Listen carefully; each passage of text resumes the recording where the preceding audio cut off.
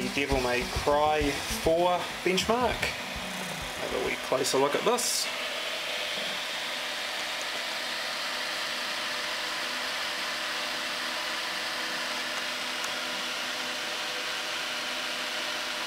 Eight hundred plus frames, seven hundred plus frames. I'm sure that'll be fine for gaming.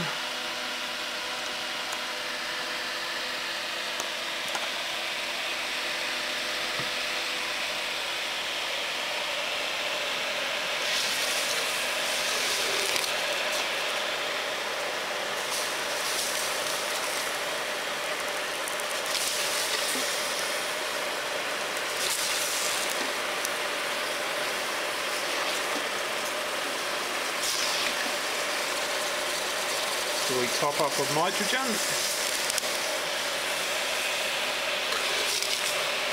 As we're running through the benchmark.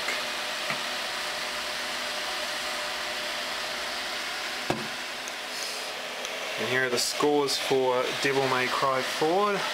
We've got scene 1 at 759.78, scene 2 is 588.48, scene 3 is 899.71, and scene 4 is 489.4.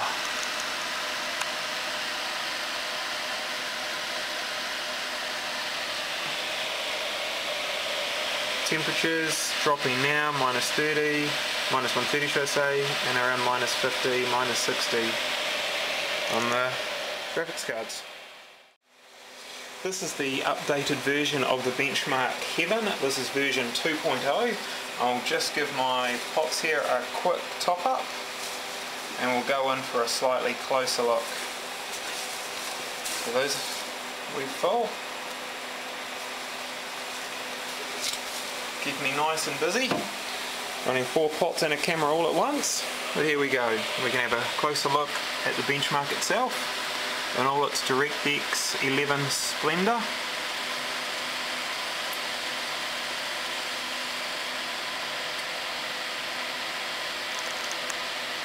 And we can see down here that we're running minus 137 on the CPU, around the minus 140 marks for the graphics cards.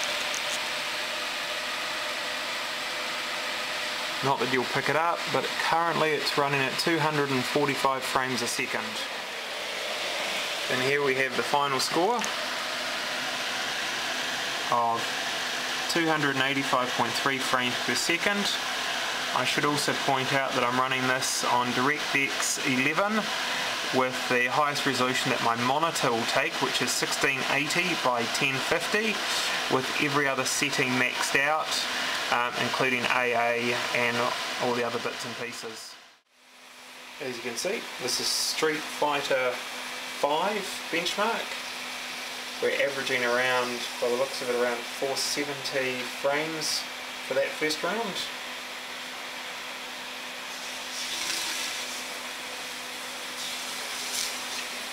Again, like the other benchmarks, we're at 5.8 gigahertz and 1200 by 1240 on the graphics cards. It's given us an average frames of 385.11 frames per second with a score of 25126.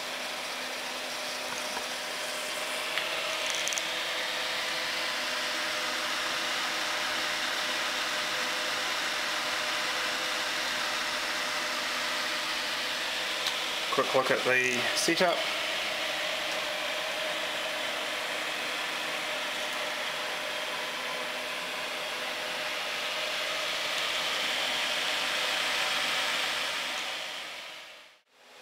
Here we have the benchmark Resident Evil 5. So these are we top up. And again, we'll have a closer look at the benchmark itself.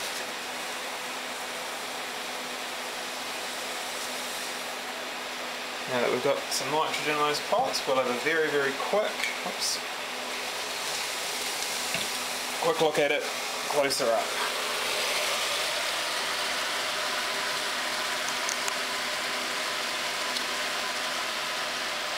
I'm running the variable benchmark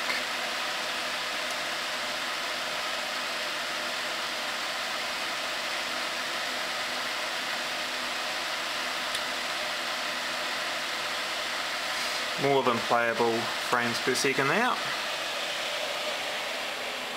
Pop that back up there for a second. This benchmark seems to be hogging the most amount of nitrogen out of all the game benchmarks I've run so far tonight. For this run, we've got the CPU at 5.8 gigahertz, and we've got all four graphics cards running at 1300 on the core and 1240 on the memory.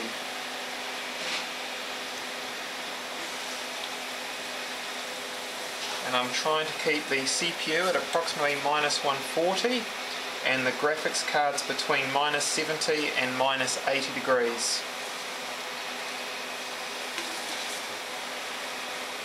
Keeping all that balanced with only myself pouring certainly is a challenge.